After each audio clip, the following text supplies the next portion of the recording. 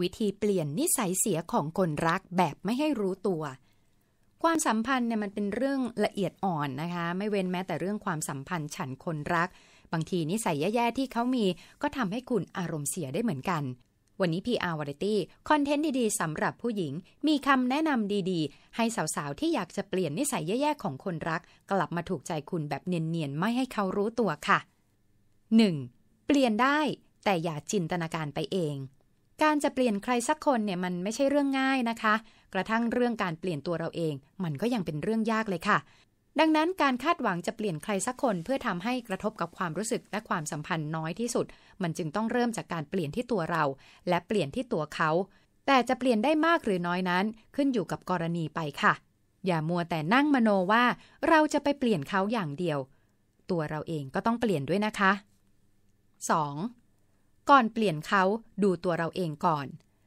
บางเคสอาจจะต้องเปลี่ยนที่ตัวเราเป็นหลักค่ะ การปรับ mindset ของตัวเองนิดหน่อยทำให้เรามองใครสักคนตรงหน้าในสายตาที่เปลี่ยนไปได้มากขึ้นนะคะ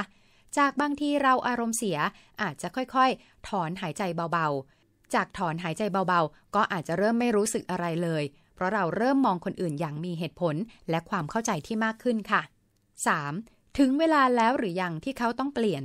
การพยายามเปลี่ยนตัวเขาเป็นสิ่งที่เราทำได้เหมือนกันนะคะ ถ้าหากสิ่งนั้นเป็นพฤติกรรมหรือว่าลักษณะนิสัยที่กระทบต่อความสัมพันธ์ หรือความเป็นสุขของเราเอง เป็นต้นว่า แฟนของคุณนั้นขี้บ่นเหลือเกิน ช่วงโปรโมชั่นก็ยังดีๆ อยู่หรอก แต่พอหมดโปรเท่านั้นแหละ ออกลายทันที พฤติกรรมที่มีผลต่อความสัมพันธ์แบบนี้ เรายินดีและส่งเสริมให้คุณเปลี่ยนเขาเถอะค่ะ เพราะนั่นเป็นสิ่งที่มีผลอย่างมากต่อภาพรวมของความสัมพันธ์ในอนาคต จริงๆ แล้วยังมีอีกหลายข้อนะคะ ที่จะต้องมานั่งคุยกัน แล้วปรับเปลี่ยนไปพร้อมกัน แต่ให้ลองนึกย้อนไปดีๆ นะคะว่า เราเป็นใครจู่ๆถึงอยากจะไปบังคับให้เขาเปลี่ยน คุยกันก่อนไหมคะ อะไรที่ปรับได้ให้ลองปรับก่อน การเปลี่ยนแบบ 180 องศา บางทีมันอาจจะทำไม่ได้นะคะ แต่การลองปรับอาจจะพอทำไหวในฐานะคนรักค่ะ